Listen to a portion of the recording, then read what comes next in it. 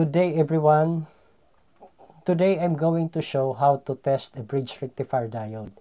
I have here an example of the actual bridge diode and its rated value is KBPC 5010. It means that this rectifier diode has a maximum capacity to handle a current of 50 amperes and can operate at a maximum of 1000 volts. Now, a bridge rectifier diode is consists of four diodes housed inside this casing. As you can see in the schematic diagram, okay, it has four rectifier diodes. And then if we have this actual, okay, it looks like that. Or somehow uh, it is decomposition. It's how it's composed I mean. Okay? Now in testing a bridge rectifier diode uh, we should know what is forward biasing and reverse biasing because in performing or through, I mean through performing this forward biasing and reverse biasing we can identify whether a bridge rectifier diode is in good condition or defective. Okay? So in conducting a forward biasing we have to connect the black test probe to the anode of the bridge rectifier diode, then the red test probe to the cathode, just like that. Here. Okay? Also here. Here. Just like that.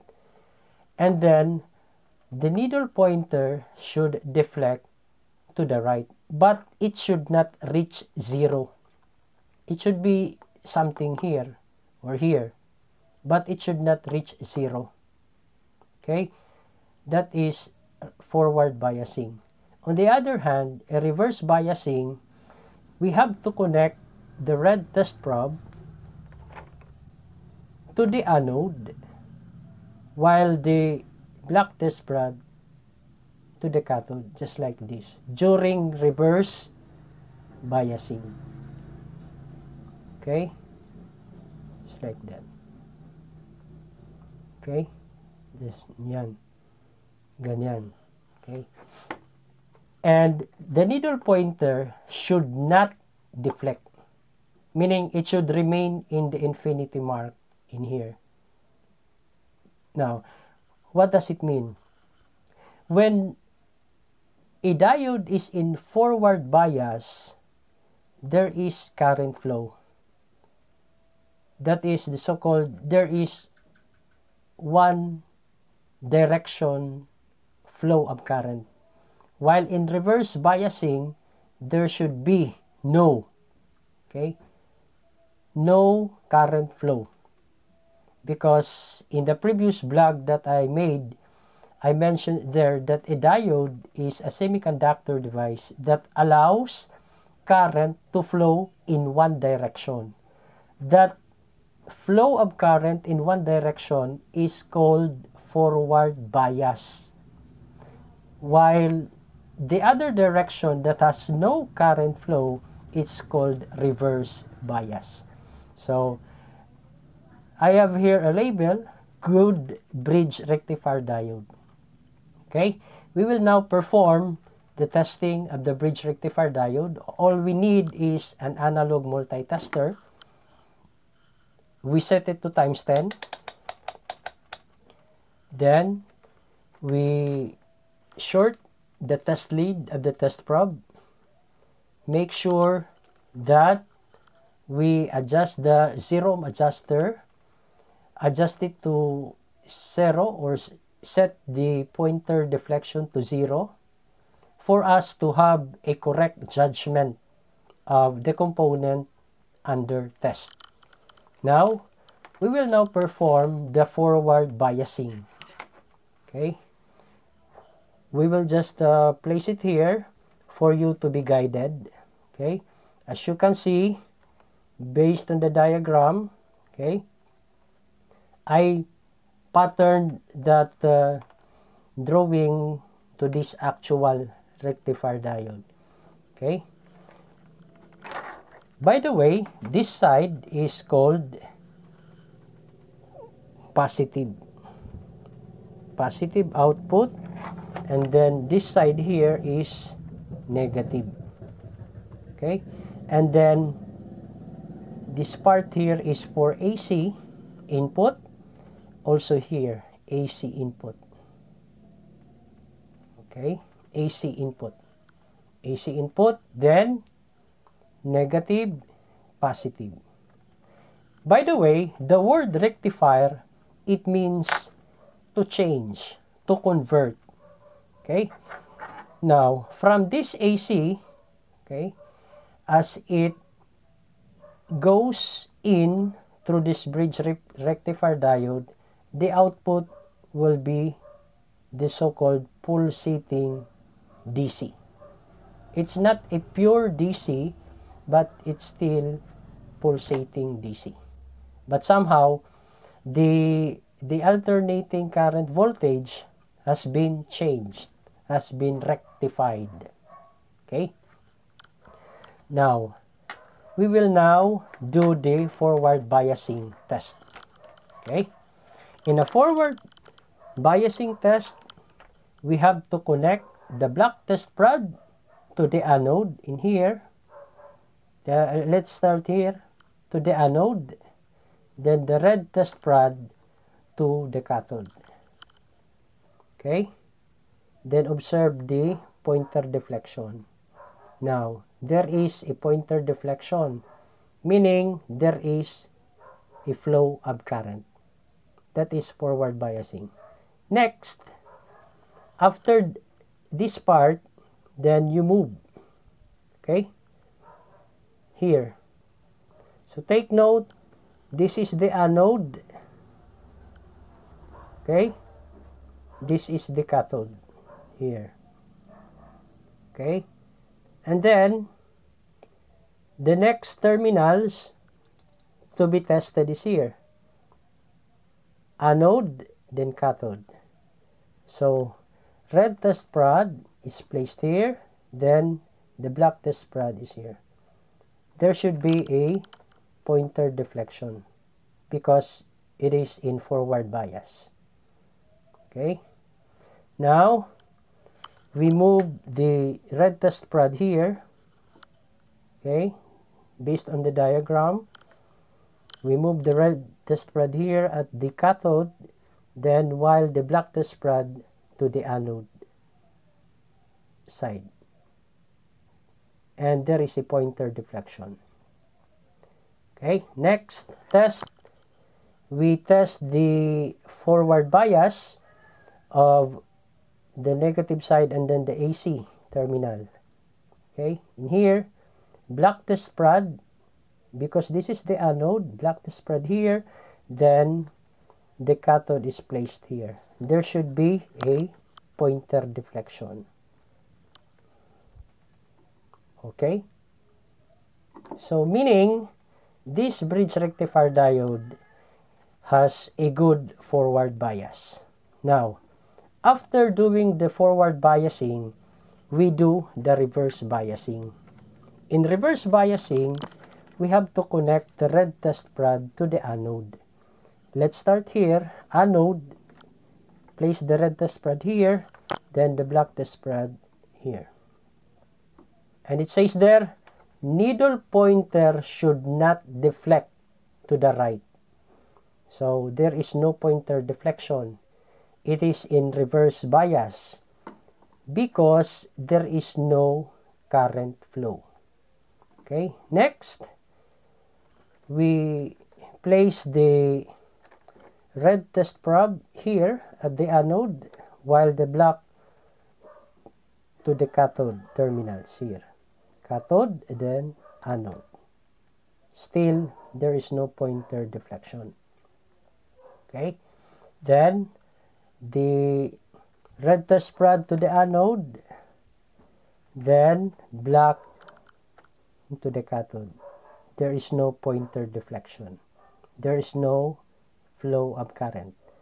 And then next, we have this uh, terminal here, anode connected to the red test probe. Then the black test prod is connected here. There is no pointer deflection because that is in reverse bias. Now, if that's the case, it indicates that this bridge rectifier diode is in good condition because it only allows the current to flow in one direction. So the, in the other direction, there should be no current flow. Okay, it's clear. And now, I have an example of a defective uh, diode also, bridge diode. This is a bridge diode. I just uh, take it off from a portable welding machine that I have been working on okay? So as you can see it has the same uh, orientation. Mm -hmm. now we will check its condition. We will perform the forward biasing first. When we do the forward biasing black test rod to the anode then red test rod to the cathode. As you can see, there is a pointer deflection. Okay, that is good. Now, next, okay, we place the black test rod to this side here. Okay, there is a forward bias. There is a flow of current here. The next, okay, we place the black test prod here at the anode, then at the cathode is the red test prod Oh, see? As you can see, the pointer deflection indicates a zero. Okay? Because if we will compare it to the good one okay? Here this is the good one. You observe the pointer deflection. It does not reach zero. It's only up to 5 or slightly below 5 while here mm -hmm, it reaches the zero. So in that case you can have a conclusion, okay, this bridge diode is already defective. Now, let's continue. Forward biasing pa rin. Okay? Now, there is also a 0 ohm resistance. Mm, by the way, we uh, set it to 0 again. Okay? Then, 0 it reaches zero. Mm -hmm. So it means that the anode and the cathode terminals have been connected, internally connected. Now, we perform the reverse bias. In doing the reverse bias test, we place the red test rod to the anode, then the black test rod to the cathode. There is no pointer deflection here. It's good.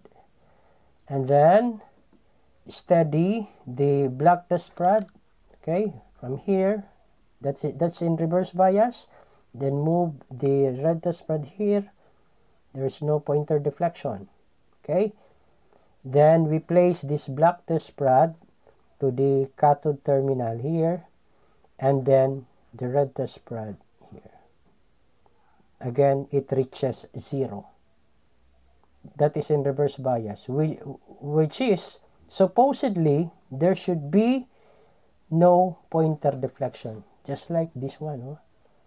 good this is in good condition it is in reverse bias hmm? reverse bias. No pointer deflection. In here, there is a pointer deflection if it uh, even if it is in reverse bias. You can now see the difference. This is the good one and this is the bad one. Okay, let's continue. The red test rod connected to the anode and then the black test rod connected to the cathode here. As you can see, there is a pointer deflection and it reaches zero. So it means here that uh, this diode here, okay, is shorted. Meaning the cathode terminal and negative and the anode terminal has been internally shorted. Also here, these terminals here, the cathode and the anode terminals has been internally shorted. Therefore, this diode here, or this bridge diode uh, rather, is called bad uh, bridge rectifier. Defective. Okay? What is the problem here? This is a shorted. Okay? Shorted. Which part is shorted? Negative, then AC. Okay? Take note that this is the negative side. Okay?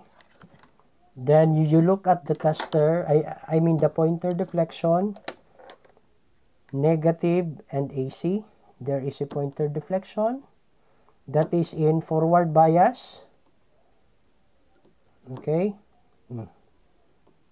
Forward bias, reverse, reverse bias. So, as you can see, both biasing has a pointer deflection. In that case, this bridge rectifier diode is already defective.